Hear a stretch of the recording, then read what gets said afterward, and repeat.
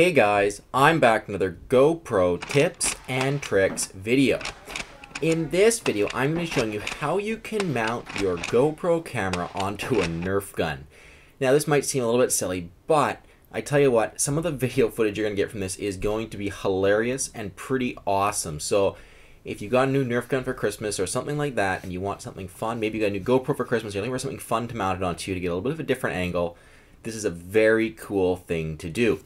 So we're going to be using the vented helmet strap mount. One of the nice things with this is we don't actually have to use one of the adhesive mounts to do this. We just use this. It'll mount for however long we want to use it for. And then when we're done, we can take it off and we haven't used up one of our GoPro mounts. So we'll take the vented helmet strap mount and I'm just going to kind of hold on to it here and put it in different places. And then I need somewhere where the straps will go around it and it'll set level. So really the two options are either somewhere on top, maybe up here, or the place that I'm thinking more will be right back here.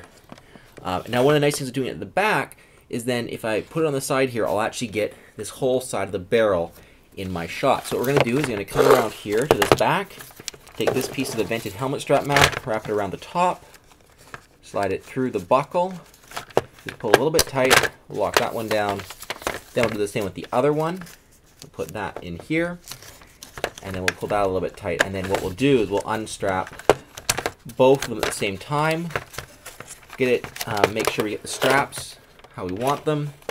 Pull on both the straps at the same time with our fingers when they're tight, and then we'll take our thumbs and lock down those two mounts. Uh, as you can see, this mount isn't quite uh, parallel with the gun, but that's okay because once we take our GoPro on our buckle mount, so we've got our GoPro, our buckle mount, and two um, extender bars, so a little extender bar, the big extender bar. So this is what allows us to fold this thing up, just like this, and we clip this on. Um, we can then angle it however we need to to correct for the uh, for the mount not being level. So guys, there we go. That was how we can mount our GoPro onto our Nerf gun. Um, if you watch a sample video from this, I think you'll be very impressed. It looks very, very cool.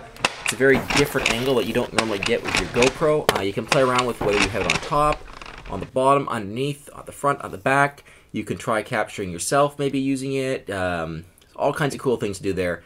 It is, again, it's a cool GoPro shot because it has one piece of the shot that's very stationary. As you can see, the, the barrel of the gun in the shot is kept stationary and everything else moves around it.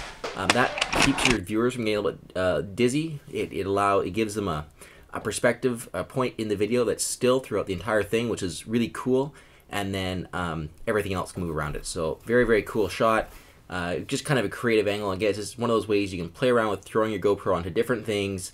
And if you use a vented helmet strap mount or something like this, you can do it without the risk of or the cost of having to use up one of your GoPro mounts.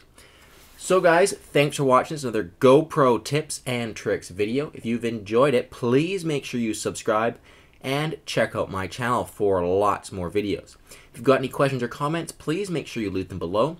Like the video if you liked it, and if you've got anything else that's bigger or pre more pressing than you could fit into a GoPro comment, uh, go ahead and check out my Facebook page. It's linked in the description of the video, uh, GoPro Tips on Facebook, where uh, that's, if you really got something you want to ask me and you want me to get back to you, go there and I will get back to you right away. So thank you guys for watching. This is another GoPro Tips and Tricks video, and until next time, guys, uh, one more time, thanks for watching.